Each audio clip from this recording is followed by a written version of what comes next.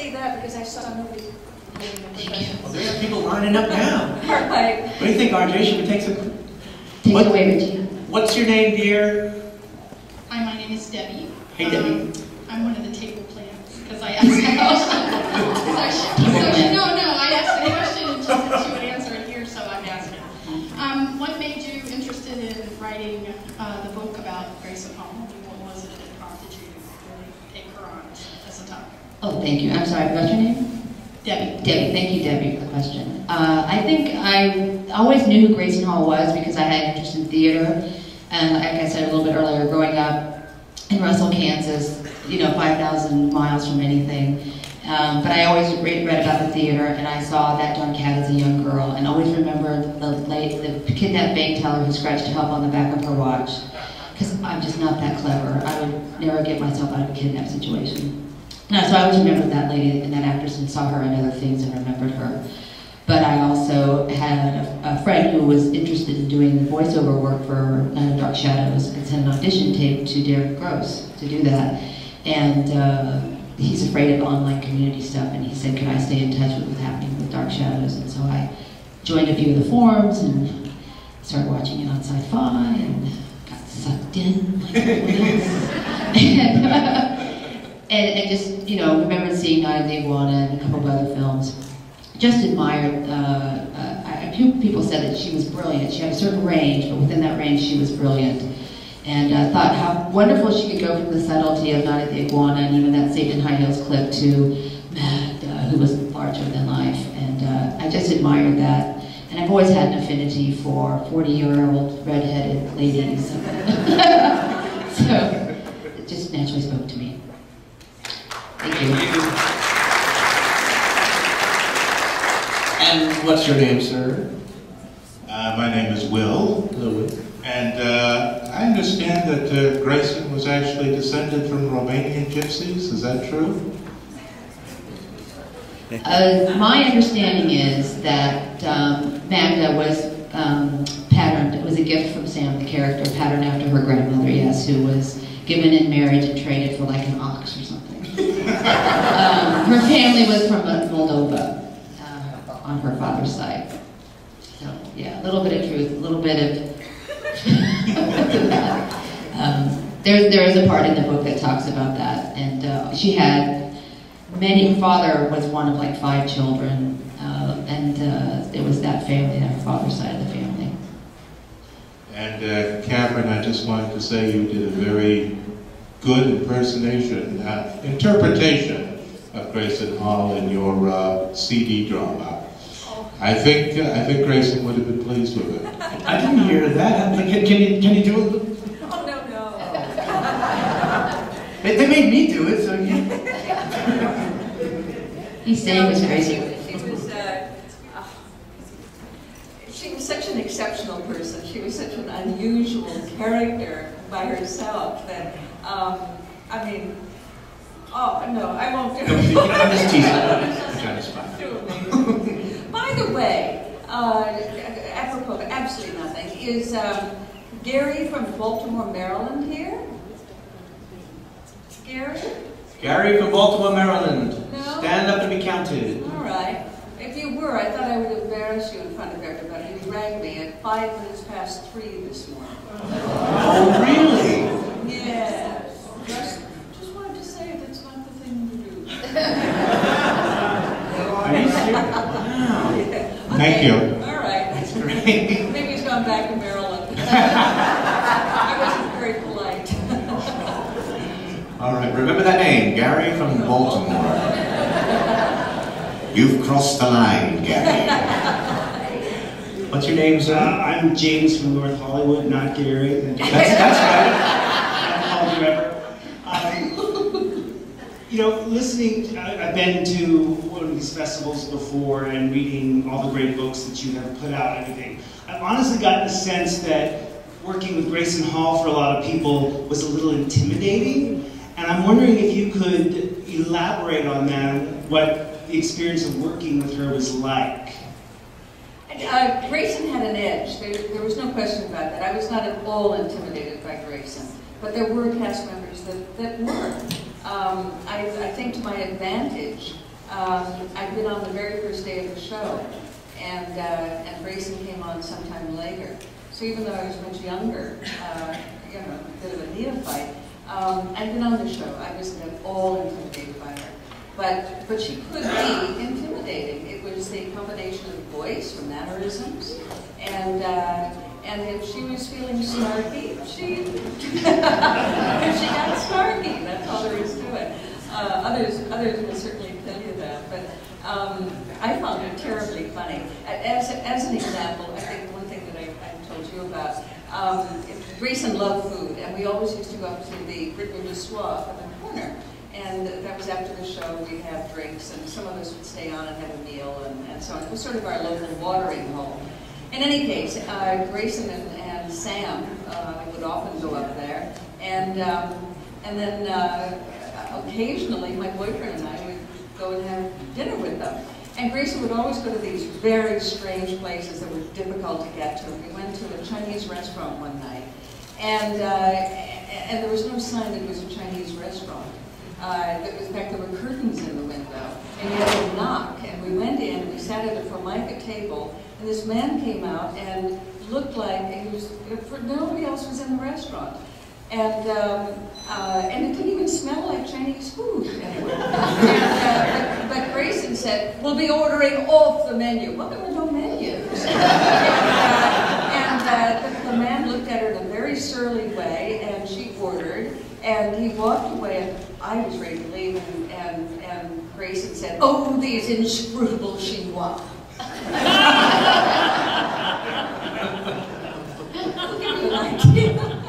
I think it was a front for a gambling joint. I think it was not a restaurant.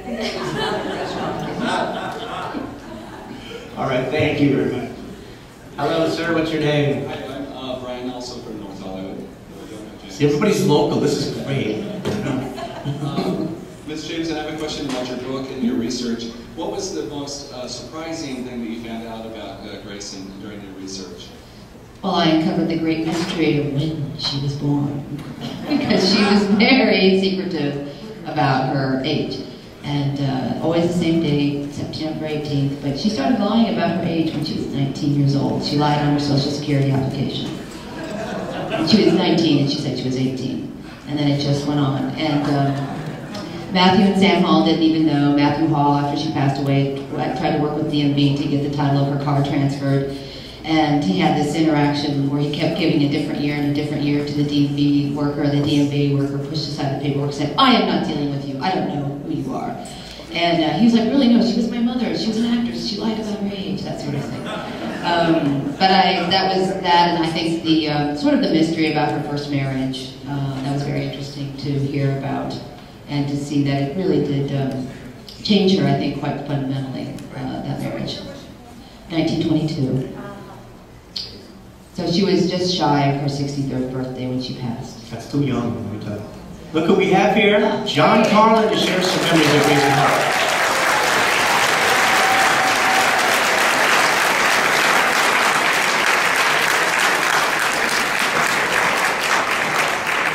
Good morning, Jeff. Nice to see you.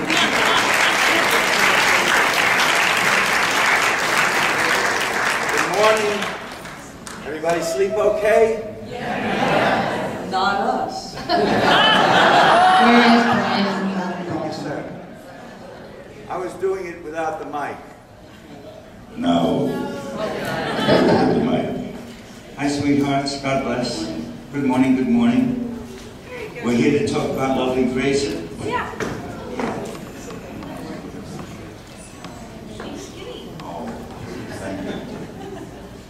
Oh, Grayson Hall.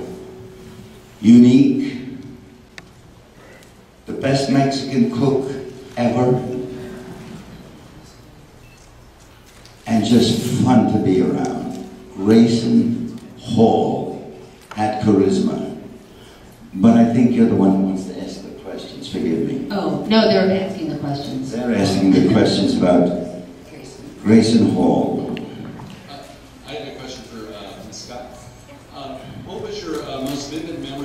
Memory on the set? Uh, and if you had a particular scene that you, that you particularly remember? Oh, let me see. Um, You know, uh, I think Grayson and I uh, worked, um, did we work that much together? I I don't. Her very first day was with you when you were kidnapped Yeah. in her sanitarium. But I, I had trouble finding like scenes that I thought would be very reflective of your work. Yeah, I think so. I, re- I remember when we were, uh, when she was playing Magda, and I was in, you know, all of that hair, um, and, and working with her then. But she'd been on the show for, a- for a while. When she came on, I have to say that she was, um, uh, she was a little bit nervous, uh, oddly enough. I, think, I don't think she It was, it was this show or Ohio? um, but uh, you know, she uh, she was a little bit um, nervous, and uh, and and I just found her delightful from, from the very beginning. But I can't re- really remember a single scene in particular that stood out. When, when you think of Grayson, what do you remember? Is there, uh, is there like a, if you had one flash? Oh, you know, well, she had so many mannerisms. Watching her smoke, mwah, you know, that sort of thing. And blowing the air, you know, the, the, smoking in the air, and you know, she just had, she just, she was just larger than life. But there were so many things about it. I remember uh, she was very, very um, self-conscious about her freckles and pale skin. So, uh, you know, she, she would, uh, she would wear leg makeup to work in the morning. You know, anything, she, she hated the fact that she had freckles. No, I love that story that you told me about how she was trying to criticize you for having false eyelashes on or something, and you said something about the leg makeup at Joan Bennett. Yes. Yeah, yeah. So you can tell I was not intimidated. All right, and, and Mr. Karlen, did you have any particular memories of, of Grayson that, were, that stood out? Well, mostly what I just said at the beginning, but uh, Grayson, Grayson was a, uh, you know, she had a lot of, you know, disregarding acting, she had charisma, great charisma, and uh, a great face, a great face. And uh, you had to watch what you said around Grayson because somebody else would also hear what you said somewhere down the line. so, you know, uh, but that's fine. That's that's good. It's hard to say any negativity about Grayson All It just is almost impossible. You know, she uh, had this great, wonderful apartment on 57th Street and uh, right across the street, and 7th, across the street from Carnegie was dark, dark in the apartment. It was all blocked off. There was nobody to see light, which was somehow good. And uh, they had a rent-controlled building. They were paying about uh, meaningless, meaningless money. Grayson Hall. Interesting. You know, I took a picture. I was going to bring it down. I forgot. Forgive me. Of her and I coming out of the studio together. That picture of her almost tells it all. She was wearing dark glasses and she was bundled up and uh, wintertime.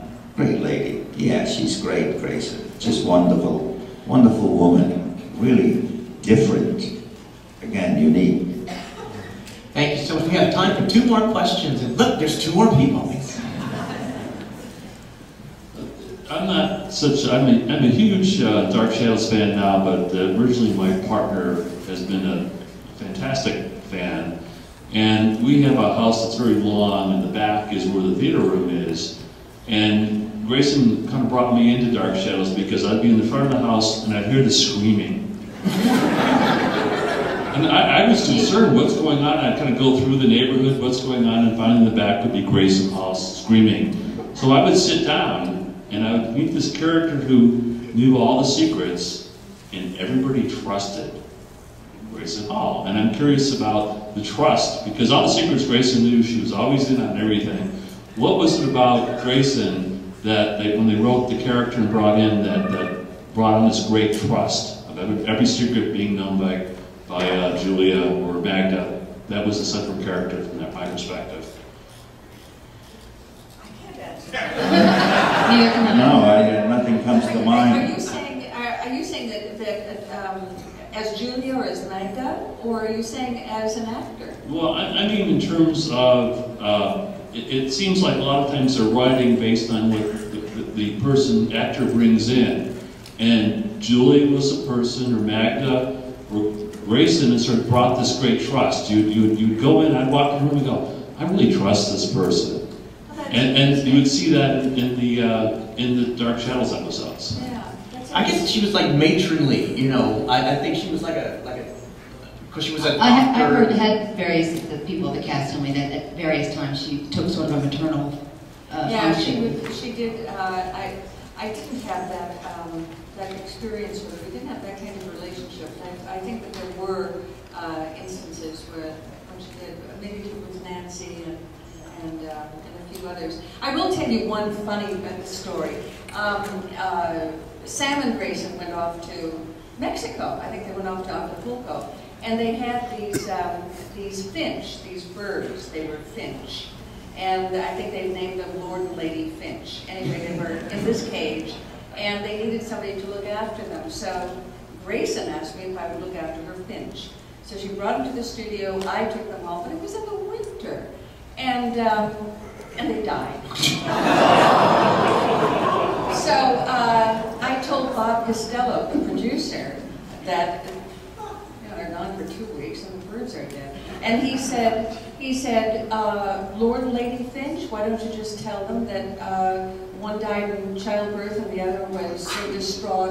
Uh, and made, made up this whole Irish funny story that I was supposed to tell Grayson, and and I just had to tell her her Finch was dead.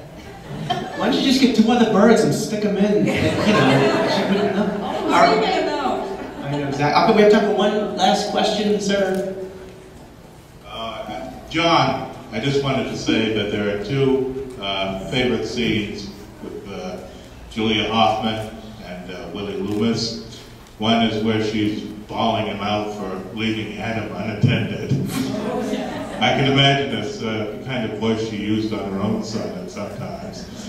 And uh, the other was the very tender scene between you, Willie, and uh, Julia when they were burying poor Barnabas. Yes, sir. And? I just wanted to say that was great acting there. Thank you. Well, thank you very much. Thank Let's have a hand for this wonderful panel talking about a wonderful actress in Grayson Hall. We remember her so fondly. R.J. Jamison, John Karlen, Just a minute, now, I I came all the way down, so if I could do a half an hour right Can you now, do it? don't I don't mind at all. John, you can do anything you like. God bless. God bless you. Thank you, thank you. My mother, thanks you. My father, thanks you. My sister, thanks you. And I thank you.